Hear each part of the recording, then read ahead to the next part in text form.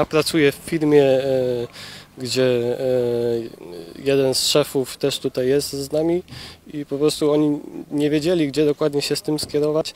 Ja wiedziałem, że tutaj jest taka zbiórka, niedaleko mieszkam i dlatego e, powiedziałem im, żeby tutaj przyjechali.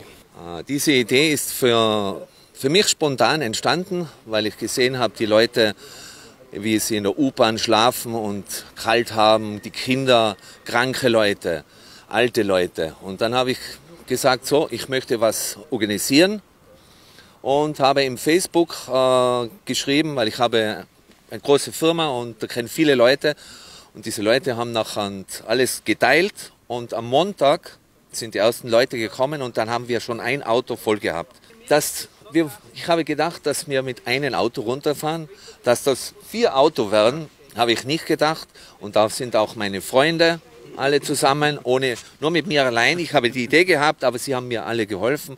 Es haben auch meine Arbeiter geholfen. Dass, wir haben alles, Jacken, Decken, alles nur in Säcke, alles sortiert. Ah, Das sind Lebensmittel, Kindersachen, Windeln, Toilettsachen, äh, Desinfektionsmittel, äh, Hosen, Pullover, Schuhe.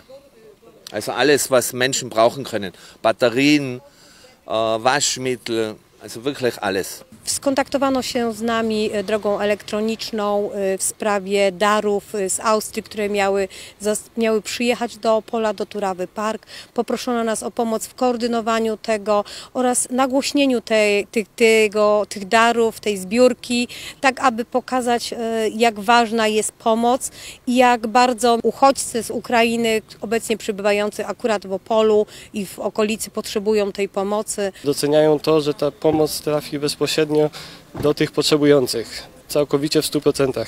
Tak samo transport, e, wszystkie koszty, które ponieśli e, z, tą akcją, jakby są sponsorowane przez nich. To ni, nic, nic nie jest brane z tych pieniędzy, któ- które ludzie e, postanowili dla, dla tych właśnie poszkodowanych z Ukrainy dać.